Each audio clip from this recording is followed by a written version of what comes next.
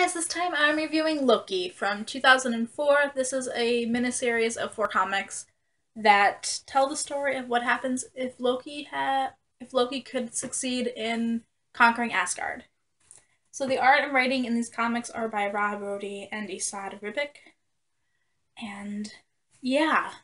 So Loki has conquered Asgard in these comics. We don't know exactly how he does it, but it's not important. What's important is that Loki is now in charge of Asgard, and now he has to deal with the ramifications of that. So the Great Trickster has finally won his greatest desire. He's in charge of Asgard. He has Odin and Thor in captivity, and now he needs to decide what his next steps are. And very quickly, Loki learns that ruling is not everything he thought it would be. All of a sudden, he needs to learn to deal with very real things about the running of Asgard.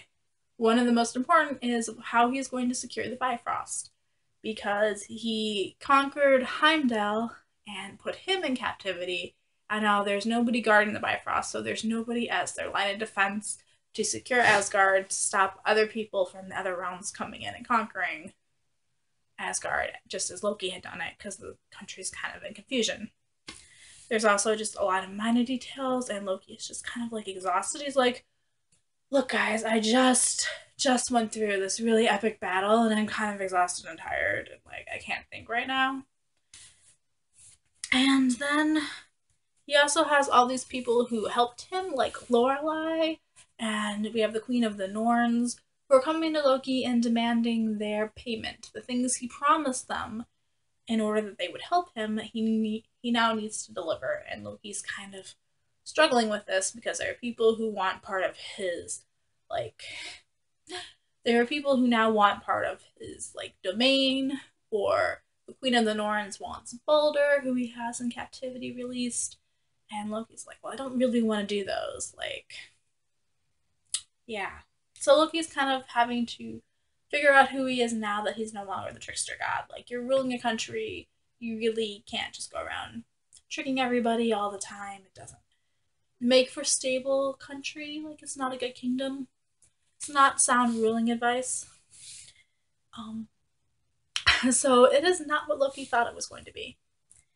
And we also have Hela, who is the queen of death, who like has dominion over hell and all the souls who have departed from living. And she has come to Loki to demand Thor's soul. Like this is one of those things that she has always wanted and now it is like within her grasp. Like Loki is always promising that he's gonna kill Thor, and now Hela has come to like put the pressure on him and like, dude, you're always saying you're gonna do it. Now just do it. And Thor or and Loki is really struggling with this because he's trying to come to terms with who he is without Thor. Like so much of his life is defined by being in opposition to Thor and without having Thor to battle, and without his constant desire to take over Asgard, Loki's in this major, like, trying to figure out who he is. He's in this dilemma, this struggle of who is he now? These major characteristics that once defined him aren't there anymore.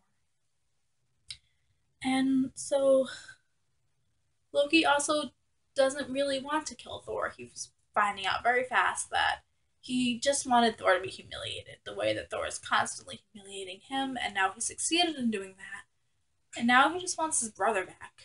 And he's having all these flashbacks and all these memories and all these times that he and Thor weren't at odds and they really were brothers and comrades. And Thor or Loki's really finding that's kind of what he wants now, is he just wants to be friends with Thor. Um and how that all plays out is just tragic. So I am a huge Loki fan, so Loki having his own comics is like amazing, and I was super excited, and I was like, yes, Loki won! Alright, he's in charge of Asgard, what's Loki gonna do?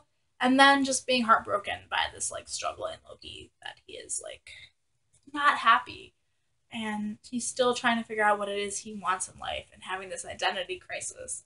And so, as somebody who loves Loki. Getting to see him win, but not really win, it's kind of not my favorite. It is really well done, and it's a great look into who Loki is and exploring Loki's character Um, but I'm also kind of glad that it's only four issues and that it isn't this long series. Like, I wouldn't want to read 20 issues of Loki moping and being sad and trying to struggle with who he is. The art in this comic is very muted. It has, like, these duller colors, they aren't as vibrant. The characters are all drawn, they looked a lot older than we normally see them. They're a lot more worn out. Um, like that we see Thor being completely destroyed and like Odin in captivity and locked up and all the heroes have now met now met their downfall. So it's a lot kind of more serious comic. This isn't Loki the trickster who's out there having a lot of fun. Um, this is not a com- this is not like a comedic story. This is definitely more of a tragedy. Um, but it's definitely an interesting look at these characters and exploring who they are, who especially who Loki is. So I would recommend it, but I wasn't majorly in love with it. I this is not a comic I'm going to be rereading over and over and over again. So yeah, peace out. I love you guys and keep reading. Bye.